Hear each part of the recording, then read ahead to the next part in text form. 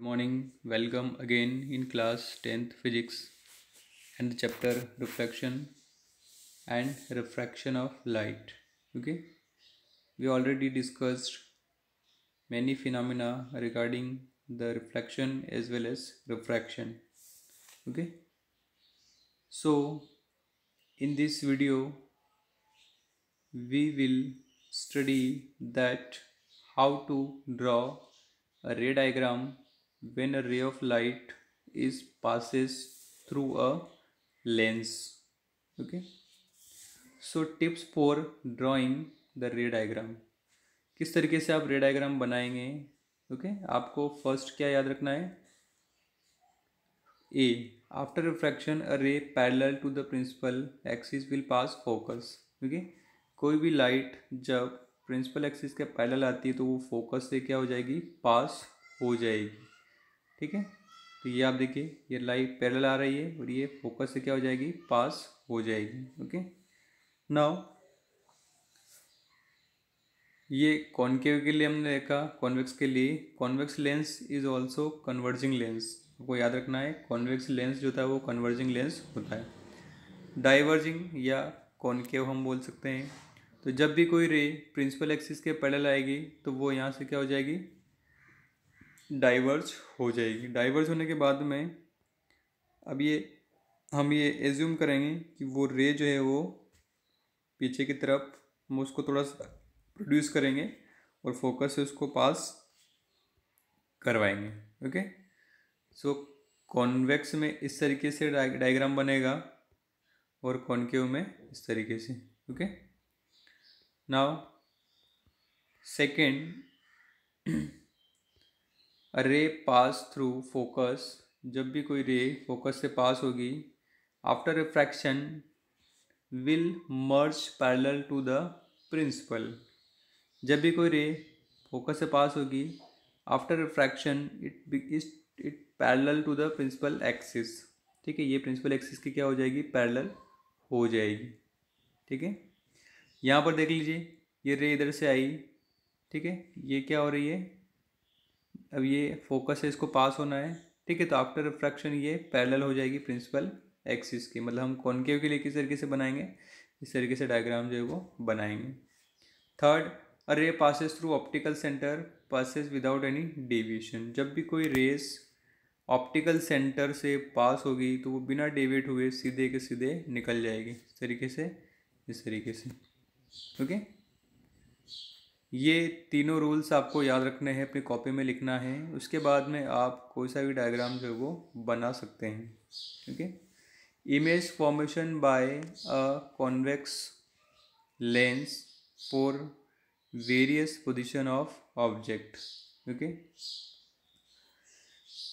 image formation किस तरीके से इमेज जो है वो बनेगी, आपको याद रखना है। पहला केस जब ऑब्जेक्ट कहाँ पे रखा हो? इन्फिनिटी पे रखा हो। ऑब्जेक्ट कहाँ पर हो? इन्फिनिटी पे हो। इन्फिनिटी पे इन्फिनिटी पे इस तरीके से। ऑब्जेक्ट यहाँ पे रखा हो। ठीक है? इन्फिनिटी मतलब बहुत दूर रखा हुआ है, हम ये मान के चल रहे हैं। तो जब रेस इस प्रिंसिपल एक्सिस के पैडल आएगी तो वो फोकस से क्या हो जाएगी? पास हो जाएगी। फ़र्स्ट रूल अब अभी हम देख चुके हैं। ठीक है? तो इमेज कहाँ बनेगी? फोकस पर ही बनेगी। देखिए, ये फोकस पर ही बन रही है। ठीक है? साइज़ कैसी है? बहुत छोटी है। हाईली डिमिनिस्ड पॉइंट साइज़ बिल्कुल हाई बहुत छोटी बनेगी। नेचर कैसा रहेगा उसका? रियल रहेगा एंड इन्वर्टेड रहेगा। ठीक है? नेचर कैसा रहेगा? Real and inverted okay now अब ऑब्जेक्ट को हम थोड़ा सा पास में लेके आ रहे हैं। मतलब इन्फिनिटी इधर इन्फिनिटी है। इन्फिनिटी और एफ़ टू एफ़ वन के बीच में लेके आ रहे हैं। तो जब ऑब्जेक्ट इन्फिनिटी और टू एफ़ के बीच में हो, या हम ये बोल सकते हैं बियॉन्ड टू एफ़ वन हो तो इमेज जो है वो फ़र्स्ट कैसे ड्रॉ करेंगे हम? पहली जो रे है वो प्रिंसिपल एक्सिस के पहले आएगी तो कहाँ से पास हो जाएगी? फोकस से पास हो जाएगी। ये फोकस से पास हो रही है, ये फोकस से पास हो रही है। दूसरी रेज ऑप्टिकल सेंटर से आएगी, वो बिना डिवेट हुए इस तरीके से पास हो जाएगी, ठीक है? तो ऑब्जेक्ट कहाँ, ये दोनों रेज जहाँ कट करेंगे, देखिए ये दोनों रेज जहाँ मिलेगी ये वाली रेस और ये वाली रेस वहाँ पे इमेज जो है वो बन जाएगी आपकी। तो इमेज कहाँ बन रही है? ये एफ़ टू है और ये टू एफ़ टू है, इसके बीच में बन रही है। साइज़ कैसी है? देखिए ऑब्जेक्ट इतना बड़ा है और इमेज ऐसी है मतलब स्मॉल साइज़ की बनेगी ऑब्जेक्ट से। नेचर कैसा रहेगा उसका? रियल एंड इन्वर्टेड नेचर रहेगा उसका, ठीक है? ये हो गई सेकंड केस अब थर्ड केस की हम बात कर लें, इसको आप बिल्कुल अच्छे से ड्रॉ करेंगे अपनी कॉपी के अंदर। ठीक है? उसके बाद जब ऑब्जेक्ट कहाँ रखा हो? टू एफ़ वन पर ही रखा हो। जब ऑब्जेक्ट टू एफ़ वन पर रखा हो तो इमेज भी कहाँ बनेगी? बिल्कुल टू एफ़ पर ही बनेगी। आप इसको प्रोड्यूस करेंगे पैरेलल आएगी प्रिंसिपल एक्सिस के फोकस से पास हो जाएगी। दूसरी ऑप्टिकल ऑप्टिकल सेंटर से जब आएगी तो वो बिना डेविएट हुए निकल जाएगी। ठीक है? तो ये जहाँ कट करेगी दोनों रेज वो कहाँ मिलेगी? टू एफ़ टू पर मिलेगी। पोजीशन ऑफ़ इमेज कैसी है? At two F two two F two पर ही बनेगी। साइज़, जिस साइज़ का ऑब्जेक्ट है उसी साइज़ की इमेज बनेगी और नेचर उसका कैसा रहेगा? Real and inverted. नेचर कैसा रहेगा? Real and inverted. Okay? Now, fourth case, जब ऑब्जेक्ट कहाँ हो? इस एफ़ वन और टू एफ़ वन के बीच में रखा हो। ठीक है? F one and two F के बीच में रखा हो। ठीक है? तो पहला तो वही डायग्राम बनाना आपको प्रिंसिपल एक्सिस के पैरेलल आएगी तो फोकस से क्या हो जाएगी? पास हो जाएगी और जो ऑप्टिकल सेंटर से आएगी वो इस तरीके से निकल जाएगी। तो ये कहाँ बनेगी इमेज आपकी? Position of image beyond F two F two देखिए टू एफ़ टू के पीछे की तरफ़ बन रही है। साइज़ ज़्यादा है। आप देखिए ऑब्जेक्ट इतना बड़ा है और इमेज ऐसी बन रही है बड़ी साइज़ की। तो हम क्या लिखेंगे? Size of image is an large nature real and inverted nature कैसा रहेगा? रियल एंड इन्वर्टेड रहेगा आपका। ओके नाउ फिफ्थ केस जब ऑब्जेक्ट फोकस पर रखा हो ऑब्जेक्ट कहाँ पर रखा हो? फोकस पर रखा हो। तो पहली रे तो वही है। फोकस से पास हो जाएगी, दूसरी ऑप्टिकल सेंटर से। अब ये कहीं पर भी नहीं मिल रही है दोनों। मतलब हम ये मान के चलें कि जब भी ऑब्जेक्ट एट फोकस हो तो इमेज कहाँ बनेगी? इन्फिनिटी पर बनेगी। कहीं पर भी नहीं मिल रही मतलब ये मान के चलेंगे ये हम, ये बहुत दूर बन रही है इन्फिनिटी पर बन रही है। साइज़ भी कैसी होगी? बहुत ज़्यादा बड़ी होगी हाईली एंड लार्ज होगी। नेचर कैसा रहेगा उसका? रियल एंड इन्वर्टेड नेचर तो कैसा रहेगा? रियल एंड इन्वर्टेड ठीक है? अब एक स्पेशल केस इसमें भी होता है, जैसे मिरर के केस में एक स्पेशल केस है। सेम यहाँ पर भी है। क्या है? जब ऑब्जेक्ट कहाँ रखा हो? एफ़ वन के बीच में और ऑप्टिकल सेंटर के बीच में रखा हो। ठीक है? अब इमेज जो है वो अब इस साइड में नहीं बनेगी इमेज कहाँ बनेगी? इधर बनेगी, ठीक है? तो पोजीशन देखिए फ़र्स्ट रूल अपना प्रिंसिपल एक्सिस के पहले अगर कोई रे आ रही है तो फोकस से पास हो जाएगी, दूसरी ऑप्टिकल सेंटर से निकल जाएगी। तो हम इनको पीछे की तरफ़ क्या करेंगे? प्रोड्यूस करेंगे इस तरीके से। तो ये जहाँ कट करेगी दोनों, ठीक है? इस रे को आप प्रोड्यूस करें, पीछे की तरफ़ इसको भी प्रोड्यूस करें। तो ये जहाँ पर मिलेगी, उधर इमेज बन जाएगी। तो position of image on the same side of the object जिधर ऑब्जेक्ट रखा हुआ है, ये ऑब्जेक्ट हो गया और ये इमेज हो गई इसी तरीके से। ठीक है? साइज़ बड़ी बनेगी एंड लार्ज बनेगी।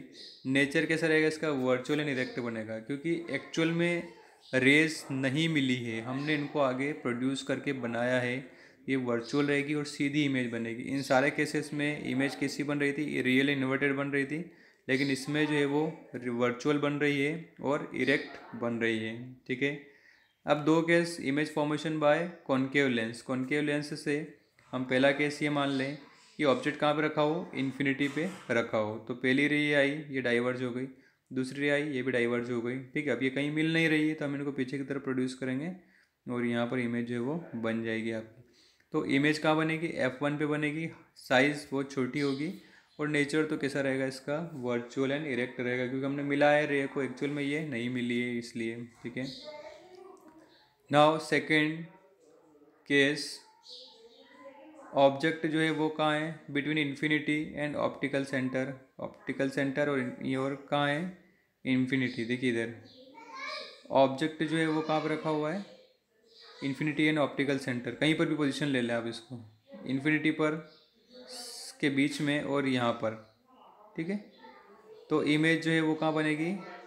F one and O F one and O के बीच में बनेगी बहुत छोटी होगी साइज़ ऑब्जेक्ट इतना बड़ा है तो उसकी साइज़ जो है वो छोटी होगी। किस तरीके से बनाना है आपको? इसको आप रे को आगे प्रिंसिपल एक्स के पैडल लेंगे ये डाइवर्ज हो जाएगी तो इसको आप पीछे की तरफ़ प्रोड्यूस करें। ऑप्टिकल सेंटर से जो पास होगी वो बिना डिवेट हुए सीधी की सीधी निकल जाएगी रेस तो यहाँ पर ये दोनों जहाँ कट कट करेगी, वहाँ पर इमेज जो है वो बन जाएगी आपकी। नेचर कैसा रहेगा इसका? वर्चुअल एंड इरेक्ट जो है वो रहेगा आपका। ठीक है? Sign convention sign convention similar रहेंगे।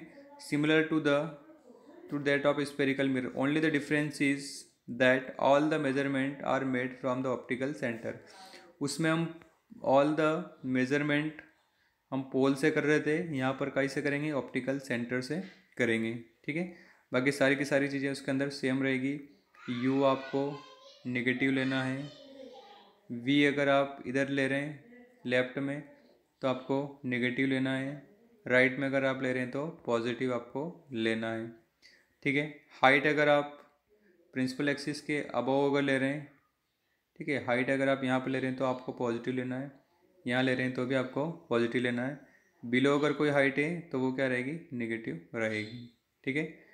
लेंस फार्मूला क्या है, लेंस फार्मूला देखिए, lens formula one by F equal to one by V minus one by U, और F equal to R by two, optical centre O focal distance distance between F and O U's object distance optical ये V जो distance of image from O और R क्या है? Distance between optic